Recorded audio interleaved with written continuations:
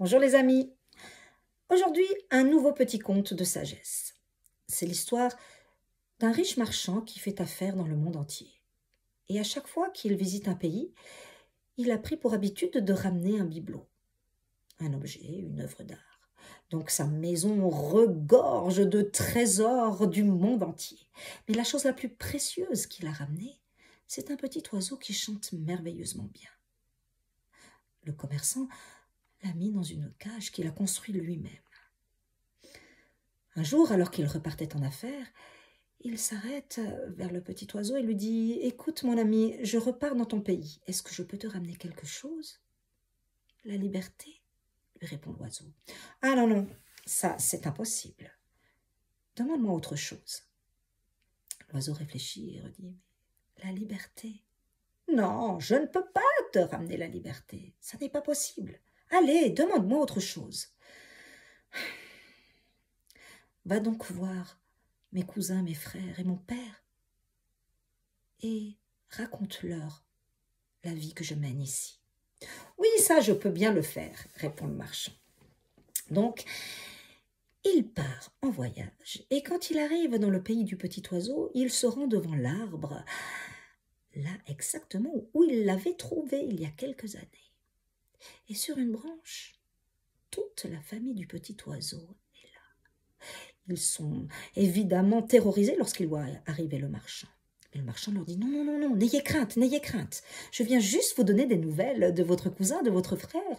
Et il s'adresse là au plus vieil oiseau de votre fils.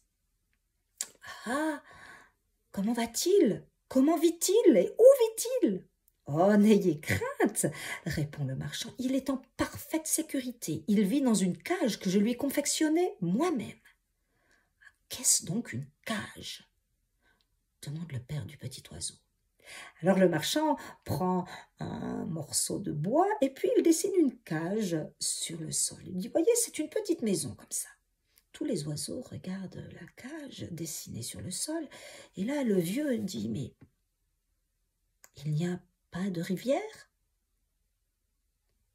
Comment fait donc mon fils pour s'abreuver?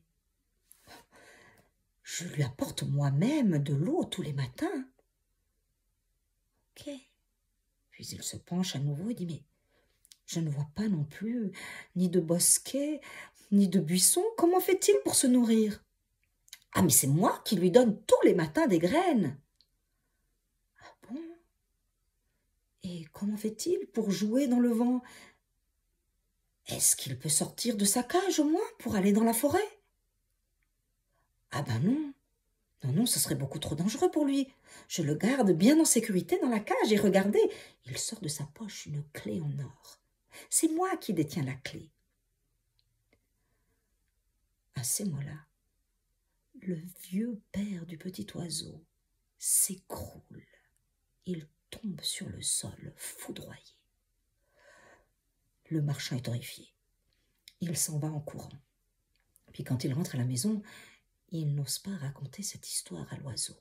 Alors l'oiseau cesse de chanter, lui dit Allez, raconte-moi ce qu'il s'est passé. Le marchand se décide enfin à lui dire la vérité. Et quand il lui explique que son vieux père est tombé foudroyé lorsqu'il a appris qu'il était enfermé dans une cage, le petit oiseau, à son tour, tombe de son perchoir sur le sol de la cage, foudroyé. Le marchand est horrifié. Il prend le petit oiseau et puis il le pose sur une table et puis il commence à le caresser. Réveille-toi, réveille-toi. L'oiseau ne bouge pas. Alors il ouvre la fenêtre pour lui donner de l'air. Réveille-toi, réveille-toi. L'oiseau ne bouge toujours pas. Le marchand court à la cuisine pour chercher un peu d'eau.